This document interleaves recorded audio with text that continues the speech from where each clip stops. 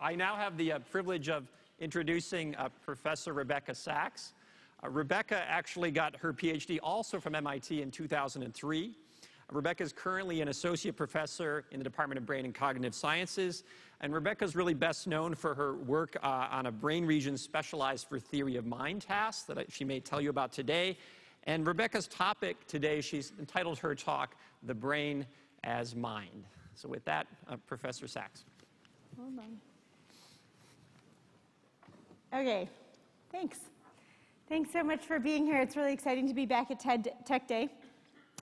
So uh, I'm going to actually sort of start where Josh uh, left off and, and take us a little more towards the brain.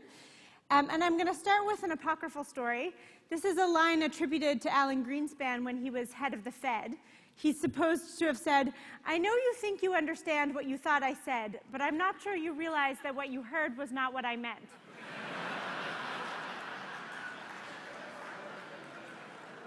So, to the extent that that made any sense to any of you, you were using two really amazing um, potentially human unique capacities that your brains have. The first one is the capacity for language, the capacity to see the way that a, the structure of a sentence works, to put the pieces of the sentence together. And famously, this goes way beyond knowing what the sentence means, as you probably saw there. And, and as you can also imagine by thinking about how can you tell that in Lewis Carroll's example in Jabberwocky, "'twas brillig and the slithy toves did gimble in the wabe you can tell that that's English. How can you tell that that's English?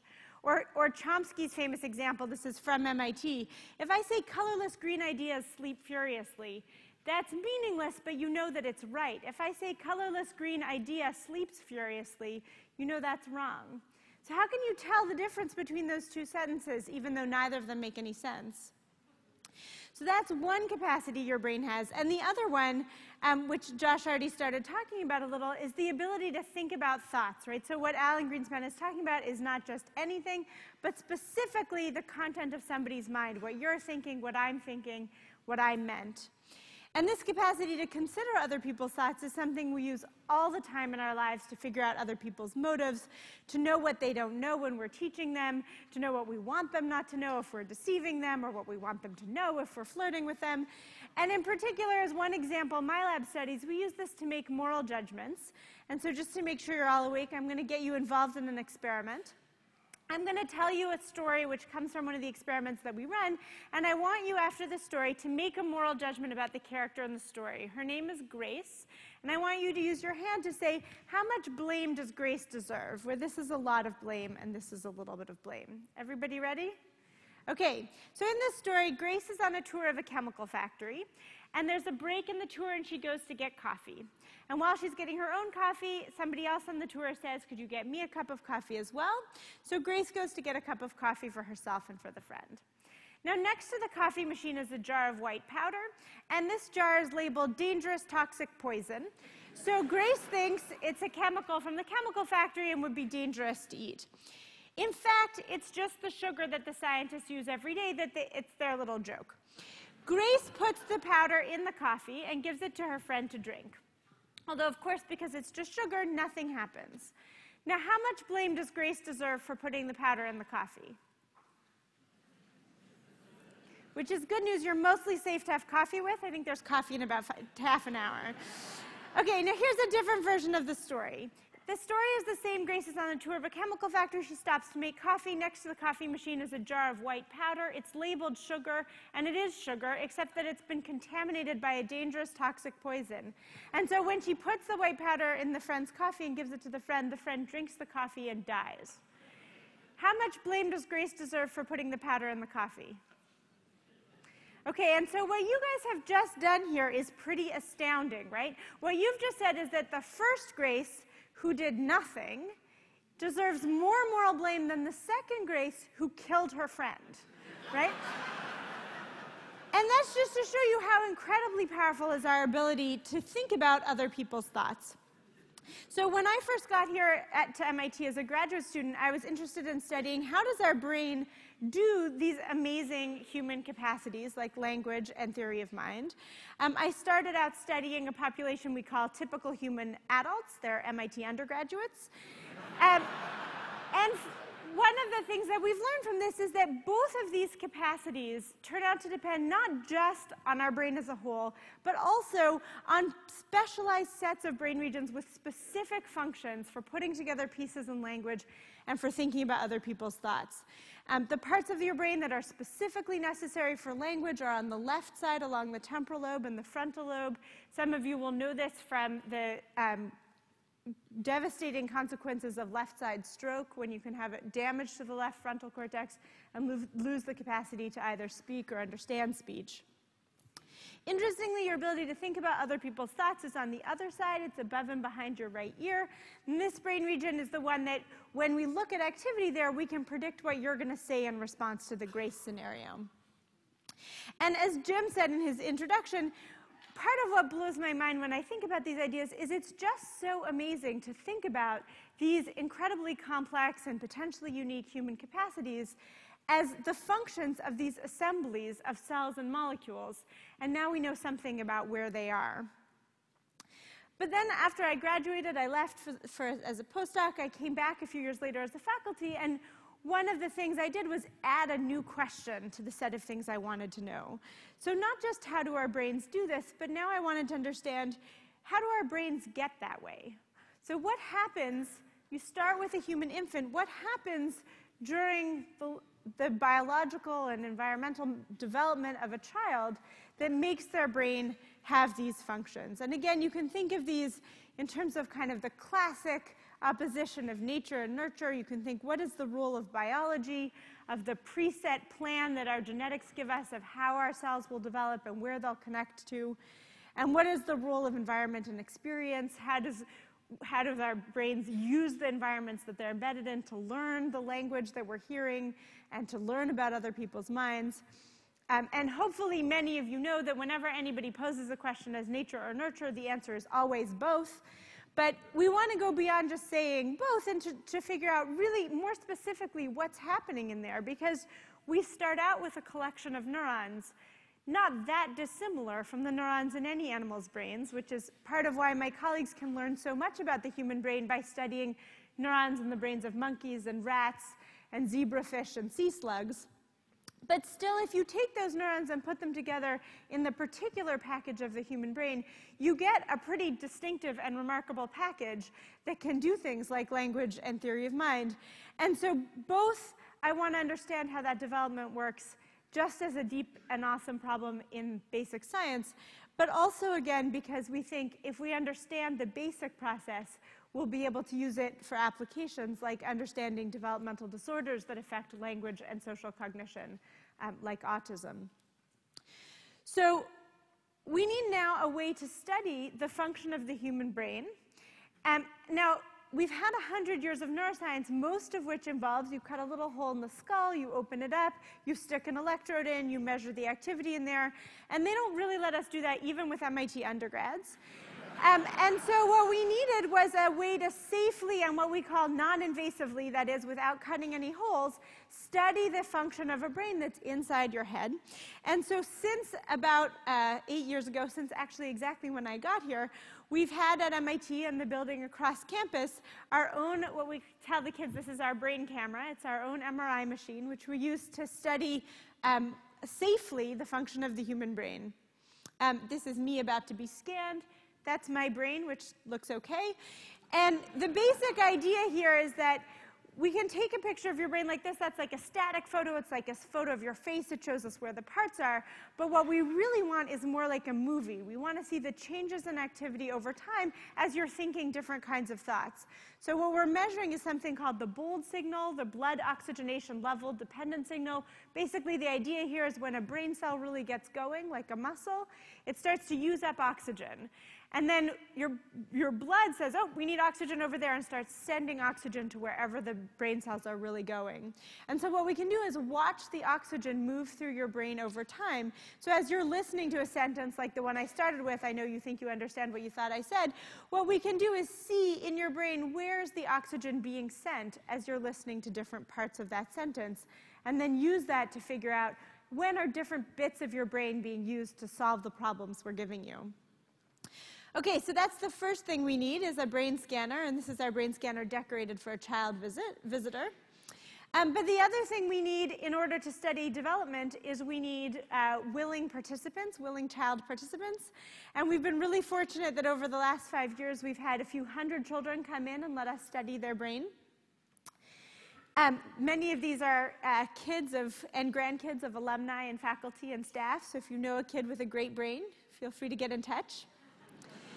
We try to make these visits as fun as possible. Any of you who've had an MRI know that doing an MRI involves lying really still in a dark tube that's making lots of noises. It's not inherently necessarily fun. Um, so we try to make it fun. We give them practice in our practice scanner where they get to listen to the sounds and get used to what it's like. Um, sometimes we give them practice what it's, how you use a brain camera to take a picture of a brain. So one of the things I used to do when I was doing these was I would tell the kids I didn't have a brain and ask them how they would figure out whether I did or I didn't. And usually we decided they would have to take a picture, so they would take me in and put me in the scanner and take a picture and check that I did have a brain. They always came running in, you do have a brain. Um, but one of the kids actually cunningly came up with the idea. He decided to try a behavioral experiment before he did the MRI experiment. He said, What's three plus four? And I said, Eight. And then he didn't know. Did that mean I did have a brain or I didn't have a brain? One of the things that's amazing about this experience is how much the kids learn about the scanner. This was after the end of the day. We had a four-year-old in the scanner. At the end of the day, we were cleaning up. We didn't know what he was doing. He was playing with our Lego.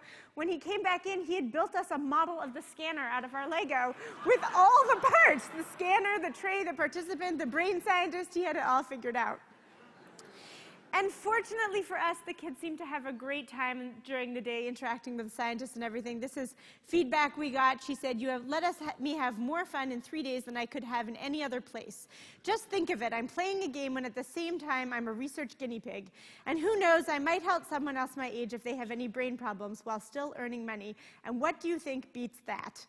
And she drew us a picture of herself in the scanner going buzz, beep, ding. So that's good. Okay, so that's what they that's what they think of it. What are we doing? Obviously, we don't tell them stories about attempted murder in chemical factories, but we do want them in the scanner using their brains, doing different kinds of activities, and so we let them listen to short stories or music or watch videos where we figured out what parts of their brain are they going to have to use at different times. So for example, if we want to study the brain regions involved in language, we have them listening to short stories. Here's an example of a story a kid might hear. In the tiny town of Chew and Swallow, it rained or snowed three times each day, once during breakfast, once during lunch, and once during dinner. But it never rained rain, and it never snowed snow. It rained things like soup and juice, and snowed things like mashed potatoes.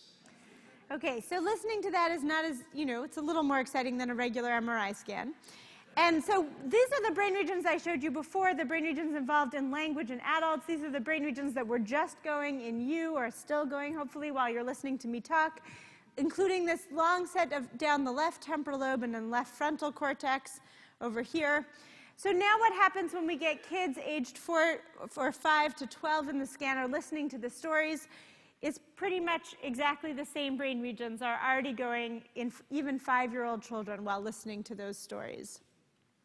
We can do the same thing to try to study um, theory of mind, so thinking about other people's thoughts. Again, we have kids listening to stories, but now the stories are about characters' thoughts or feelings. So here's an example. When Li Chi turned 10, she discovered why her friends were disappearing. They were being taken to Gobberville by a lonely and selfish fairy. Li Chi felt very mad and sad when she thought about her friends so far away from their families. She wanted to do something to help. Okay, and so then we can say, all right, in that story, now that story is all about people and their feelings. Over and above the brain regions involved in language, what else did you use to understand that story or the story about grace? And again, here's the picture of the activity in adults, including this region on the right-hand side that you used for the grace story. And then here's kids age 5 to 12 using, again, exactly the same brain regions. Although an interesting thing is that when we took a closer look, it suggests that though it's the same brain regions, these brain regions aren't functioning in exactly the same way. So if we look in particular at this one at the right temporoparietal junction, People were listening in the scanner to three kinds of stories the ones you heard about thoughts and about the physical world, but also stories that just describe other things about people. And part of why we've argued that this brain region in the right TPJ is specifically for thinking about thoughts is data like these in adults that shows that blood oxygen is sent to this brain region really just if the story is about thoughts. Stories about anything else don't get nearly as much oxygen in this brain region. But when we looked at younger kids, we saw a slightly different pattern. And actually, in the youngest kids, what we saw is that this brain region will go for anything about people. Not any story at all, but any story about people, anything about what they look like or where they come from or what they're wearing or what they're doing. And so this looks like now reading from uh, left to right that, um, or anyway, it looks like this is a brain region that starts out with a general function in social cognition, doing something about people. And then over the course of childhood and adolescence is getting more and more specialized for just this one job of thinking about people's thoughts. Still, the basic picture is that by the time we're studying these kids at age five, they have the basic pieces in place. Their language brain regions are doing language, their theory of mind brain regions are doing theory of mind. And this fits with a kind of metaphor that neuroscientists sometimes think of about the brain as the, the brain as a Swiss army knife, that it comes prepared with multiple different parts, and each part has its own special function that it's specifically designed to do. And you might think that the implication of this is that it's all preset, that there's no room for change, that we just start with a brain with the specific functions that it has and we're stuck with them the way they are. Um, but one of the things my lab has been getting interested in recently is evidence that that's also not true. That although we start with brains with, designed for particular functions, they also have a huge potential for change. And we've started studying this by a specific example, um, which is um, in terms of brain regions used for language, one of the things we've been studying is what happens in blind adults. Because in blind adults, they not only use the same brain regions for language that we use, they also use another brain region shown here. It's a brain region right at the back of your head, and it's the one that anybody in the room who's not blind is using to see. So this is early visual cortex. It's the brain region we use to see shapes and um, lights and color in the world. And this brain region in blind people who aren't using it to see is now been taken over by a new function. It can now, for example, tell the difference between Jabberwocky and nonsense. Um, I thought that was super cool. It turns out, fortunately, the fourth graders we were telling you about also thought it was super cool. This is a fourth grader's report on cool stuff they learned about the brain when they came to visit us. And he says people who are blind use their seeing part of their brain for language. And then, like you guys, he was asked to generate a question about the brain, and he came up with a good one. He says, I wonder what do deaf people do with the hearing part of their brain? That was great. So we want to know now, okay, this part of the brain in blind adults that we use for seeing and they're using it for language, how does that happen? Does it take decades of experience of blindness? Or does, um, can, does the brain start to reorganize right away? And so we needed to study blind kids. So we've started flying little kids who are blind into MIT from all around the country. These families are amazing. They come and they get to learn about their brains while they're here, and we get to learn about their brains. And one of the things that we've been learning is that already by age four, it already looks like the use of visual cortex for language is already underway. And for me as a neuroscientist, this is a little bit like watching somebody take out a Swiss Army knife to open a fine bottle of wine with the little scissors. So it seems like an incredible, amazing amount of brain development is happening in these kids before age four. And so one of the things we want to do now is figure out, okay, so what's going on there? What's the process happening in the earliest stages? Um, so one of the things we're working on right now um, is we've just started developing a special coil that will fit inside the scanner that's specially designed for human infants. This is a picture of it. Um, and we're developing movies for the babies to watch while they're being scanned. And while my grad students are working on the coils and the movies, I'm working on one of our first participants, as you can see. so in sum, thank you. I just want to say that I hope you understand what you think I said, and I hope it's a lot like what I meant. Thank you.